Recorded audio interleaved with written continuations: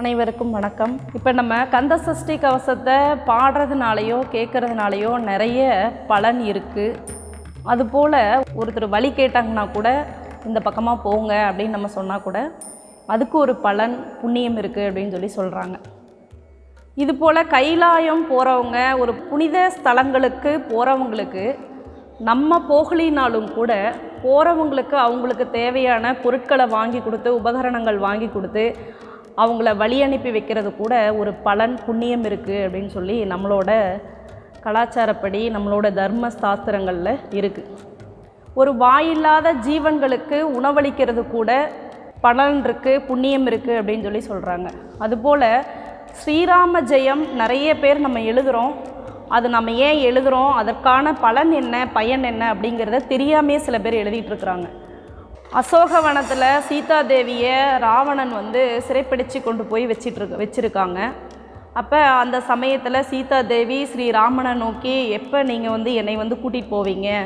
எனக்கு இங்கே இருக்கிறது ரொம்ப மன கஷ்டமாக இருக்குது அப்படின்னு சொல்லிட்டு வேண்டி இருக்கும்போது அப்போ ஸ்ரீராமரோட படைகள் வந்து ராவணனை ஜெயிச்சு அந்த விஷயத்தை சீதாதேவி கிட்ட போய் சொல்லணும் அப்படிங்கிறது நிலை வருது.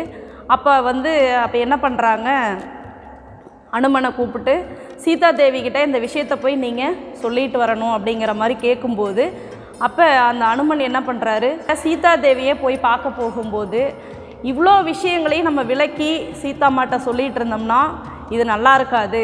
இதை வந்து எப்படி நம்ம வந்து ஒரே வார்த்தையில் நம்ம சொல்லலாம் அப்படின்னு சொல்லி சமயோஜிதமாக யோசித்து அவர் வந்து என்ன பண்ணுறாரு வாயுபுத்திரன் வந்து ஸ்ரீராம ஜெயம் அப்படின்னு சொல்லிட்டு சீதாதேவி கிட்ட சொல்கிறாங்க அப்போ அந்த வார்த்தையை கேட்ட உடனே சீதா தேவிக்கு மனசில் ஒரு ஒரு மிகப்பெரிய சந்தோஷம். நம்ம ராமர் வந்து நம்மளை கூட்டிகிட்டு போயிடுவார். பிரச்சனைகள் முடிஞ்சுது அப்படின்னு சொல்லிட்டு. அப்போ இந்த சமயோஜிதமாக நீ யோசித்து இந்த வார்த்தையை நீ எனக்கு சொல்லியிருக்க. இனி உன்னுடைய வாழ்க்கையில் எப்போவுமே வெற்றி உண்டாகட்டும் அப்படின்னு சொல்லிட்டு சீதாதேவி வாயுபுத்திரனுக்கு அருள் கொடுக்குறாங்க. அதே போல் நாமளும் இந்த ஸ்ரீராம ஜெயத்தை சொன்னாலோ எழுதினாலோ நமக்கு வெற்றி நிச்சயம். ஸ்ரீராம ஜெயம் எழுதுறதுனால நம்மளோட மனக்கவலைகள் தீரும். நம்ம என்ன நினச்சி பிரார்த்தனை வச்சு நம்ம எழுதுகிறோமோ கண்டிப்பாக அந்த பிரார்த்தனைகள் நிறைவேறும்.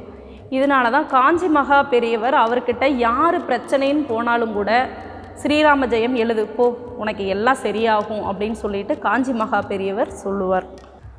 வானரப்படைகள் வந்து இது மாதிரி ஸ்ரீராம ஜெயம் சொல்லி அந்த ராமர் பாலம் கட்டும்போது அந்த கல்லை எடுத்து தண்ணியில் போட்டதுனால அந்த கல் எப்படி மிதந்ததோ அதே போல் நம்ம ஸ்ரீராம ஜெயம் எழுதும்போது நம்மளுடைய துன்பங்கள் துயரங்கள் கவலைகள் எல்லாம் மிதந்து பனி போல பறந்துவிடும் அப்படிங்கிறது ஒரு நம்பிக்கை.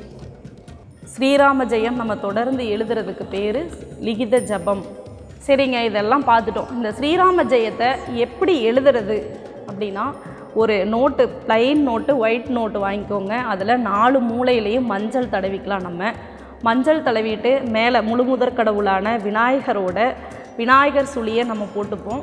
முன்னாடி பக்கத்தில் நம்மளோட பேர் குலம் கோத்திரம் குலதெய்வத்தோட பேர் நம்மளோட ராசி இதையெல்லாம் நம்ம எழுதிப்போம். ஏங்க இதெல்லாம் எழுத சொல்கிறீங்க இதை நான் பின்னாடி உங்களுக்கு சொல்கிறேன் நான். அதுக்கப்புறம் நம்ம ஸ்ரீராம ஜெயம் எழுத ஆரம்பிப்போம். இதெல்லாம் எழுதி முடிச்சாச்சுங்க. இந்த நோட்டெல்லாம் நம்ம என்ன பண்ணுறதுனா ஒரு நோட்டுக்கு ரெண்டு நோட் எழுதிட்டேன் மூணு நோட் எழுதிட்டேன். இந்த நோட்டெல்லாம் நான் என்ன பண்ணுறது இந்த ஸ்ரீராம ஜெயம் எழுதின நோட்டை அப்படின்னா நாம் வீடு கட்டும் போதோ இல்லை நம்ம ஏதாவது ஒரு தொழிற்சாலைகள் அமைக்கும் போதோ அந்த கடக்கால் போடும்போது நம்ம அதில் வச்சு பூஜை செய்யலாம் நம்ம. இப்போ ஒரு கோவிலில் கும்பாபிஷேகம் நடக்குதுன்னா அந்த கும்பாபிஷேகத்தில் கோடி முறை எழுதின லிகித ஜப நோட்டை வந்து அதில் அர்ப்பணம் செய்வாங்க. அப்படி செய்யும்போது பொதுமக்களாகிய நாம் எழுதி கொடுக்குற அந்த லிகித ஜப நோட்டை வந்து அதில் வச்சு அர்ப்பணம் செய்வாங்க. இதுக்கு தாங்க நான் சொன்னேன் நான். முன்னாடி பக்கத்தில் நம்மளோட பேரெல்லாம் நான் எழுதினோம்னா நம்ம அவங்க அந்த இடத்துல அர்ப்பணம் செய்யும்போது நம்மளோட குலம் கோத்திரம் பேர் குலதெய்வத்தோட பேரெல்லாம் சொல்லி நம்ம எதை நினச்சி நம்ம அந்த நோட்டை நம்ம எழுதினோமோ ஸ்ரீராம ஜெயத்தை அந்த பிரார்த்தனைகள் நிறைவேறட்டும் அப்படின்னு சொல்லிட்டு அந்த இடத்துல பிரார்த்தனை செய்வாங்க. இதுக்கு தான் நம்ம வந்து என்ன பண்ணலாம்? இந்த நோட்டை இந்த மாதிரி கும்பாபிஷேகம் நடக்கிற இடத்துல நம்ம கொடுக்கலாம். இல்லை அப்படின்னா ராமநாம வங்கி அப்படின்னு சொல்லிட்டு நமக்கு வந்து உலகம் முழுக்க இருக்குது குறிப்பாக பார்த்துட்டிங்கன்னா தமிழ்நாட்டில் மதுரை திருச்சி கும்பகோணம் இந்த மாதிரி இடங்கள்லாம் ராமநாம வங்கி அப்படின்னு சொல்லிட்டு இருக்குது நம்ம அந்த வங்கியில் கொண்டு போய் நம்ம கொடுத்தோம்னா இப்போ நம்ம அயோத்தியில் ராமர் கோவில் கட்டிகிட்டு இருக்கிறாங்க. நம்ம அது மாதிரி வங்கிகளில் செலுத்தினோம்னா கும்பாபிஷேகம் நடக்கிற இடங்களுக்கு கொடுப்பாங்க. அப்படி இல்லை நம்ம இப்போ பிரார்த்தனைகள் செஞ்சு நம்ம எழுதும்போது இப்போ அயோத்தி ராமர் கோயில் கட்டிகிட்டு இருக்கிறாங்க. அந்த கோயில்கள் கூ- கூட போகிறக்கான வாய்ப்புகள் இருக்குது லிகித ஜபம் ஸ்ரீராம ஜெயம் நம்ம எப்படி எழுதலாம்? அந்த எழுதுறக்கான முறை என்ன அப்படின்னா நம்ம நம்ம வீட்டில் சாமி படங்கள் இருக்கு இல்லையா? அதுக்கு முன்னாடி நம்ம உட்காந்து ஒரு அமைதியான இடத்துல நம்ம உட்காந்து எழுதலாம். எழுதும்போது நம்ம வந்து ஒரே சிந்தனையோடு இருக்கணும். முன்னேற்பாடுகளோடு நம்ம உட்காந்து எழுதுவது மிகவும் சிறப்பு. ஆசனங்கள் போட்டு உட்காந்து அமர்ந்து எழுதுனா ரொம்ப நல்லது. இல்லை நம்ம ஏதாவது கீழே விரிப்பு ஏதாவது விரித்து வச்சுக்கலாம். விரித்து வைக்கும்போது நமக்கு பக்கத்தில் இன்னொரு விரிப்பை வந்து நம்ம விரித்து வச்சு உட்காந்து எழுதுவது மிக சிறப்பு. ஏன் நம்ம இன்னொரு விரிப்பு விரிக்கணும் அப்படின்னா நம்ம எந்த இடத்துல ஸ்ரீராம ஜெயம் எழுதுகிறோமோ சொல்கிறோமோ அந்த இடத்துல கண்டிப்பாக அனுமன் அருள் நமக்கு கிடைக்கும் அப்படிங்கிறது நம்மளோட நம்பிக்கை. இதை நம்ம வந்து எந்த நேரத்தில் ஆரம்பிக்கலாம் அப்படின்னா சனிக்கிழமை இல்லை நவமியில் நம்ம வந்து நம்ம இதை எழுத ஆரம்பிக்கலாம். நம்ம எப்போ எழுதுகிறோம் எந்த நேரத்தில் ஆரம்பிக்கிறோம் அதே நேரத்தில் தினசரி நம்ம எழுத ஆரம்பிக்கிறது மிகவும் சிறப்பு. நம்ம எங்கேயாவது வெளியூர் போகிறோம் அப்படின்னா நமக்கு அந்த இடம் கிடைக்காது. ஆனால் அந்த நேரங்கள் நமக்கு கிடைக்கும். அந்த நேரத்தில் நம்ம ஏதாவது ஒரு கோயிலில் அமைதியான இடங்களில் நம்ம உட்காந்து எழுதலாம். துன்பங்கள் மறந்து துயரங்கள் கடந்து அனைவரும் வாழ்வில் வெற்றி பெறுவோம். ஸ்ரீராம ஜெயம்.